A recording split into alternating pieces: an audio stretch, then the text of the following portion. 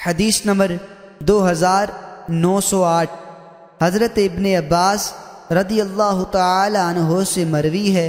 फरमाते हैं, रसूल अकरम सल्लल्लाहु अलैहि वसल्लम और सहाब कराम जुल्हज्जा के पहले अशरा की चार रातें गुजारने पर तशरीफ़ लाए और वो सब हज का तलबिया कह रहे थे तो आपने उनको हुक्म दिया कि उसको उम्र के तलबिया में बदल दें। हदीस नंबर दो हज़ार नौ सौ नौ। हज़रत इबन अब्बास रदी अल्लाह तहों से मरवी है।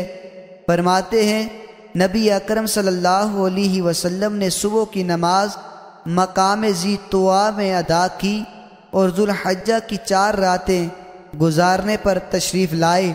आपने सहाब कराम को हुक्म दिया, वो अपने अहराम को उम्र में बदल दें, सिवाय उन लोगों के जिन्होंने हद्दी चलाई हो।